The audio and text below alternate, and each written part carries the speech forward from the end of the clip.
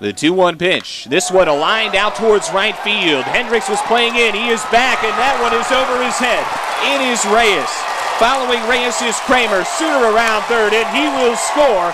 Jin-De Jhang with a bases clearing triple, and the curve now lead it 4 to 2.